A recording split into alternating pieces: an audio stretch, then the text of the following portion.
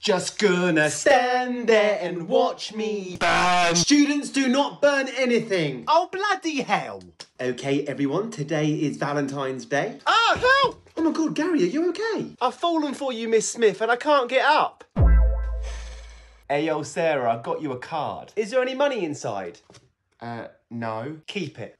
Oh my god, someone, someone's bought me a box of chocolates. Oh, shut up, Tarquin. We all know you bought them for yourself.